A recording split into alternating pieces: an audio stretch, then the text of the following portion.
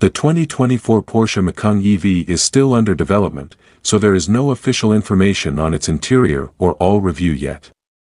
However, based on spy shots and rumors, we can get a good idea of what to expect. Interior The interior of the Macan EV is expected to be similar to that of the Taycan EV, with a minimalist design and a focus on technology.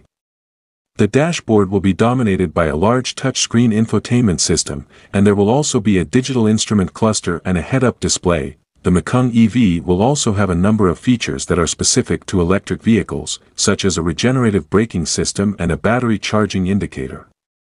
It is also expected to have a number of luxury features, such as heated and cooled seats, a panoramic sunroof, and a premium sound system, all review, while there is no official all review of the Macan EV yet, we can expect it to be an impressive vehicle. Porsche is known for building high-performance cars, and the Macan EV is likely to be no exception.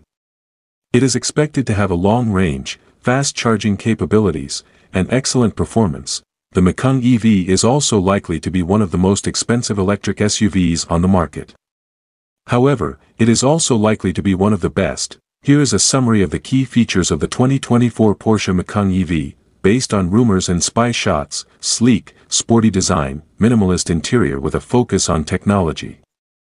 Large touchscreen infotainment system, digital instrument cluster, head-up display, regenerative braking system, battery charging indicator, heated and cooled seats, panoramic sunroof, premium sound system, long range, fast charging capabilities, excellent performance, high price tag, the 2024 Porsche Macan EV is expected to be released in late 2023 or early 2024.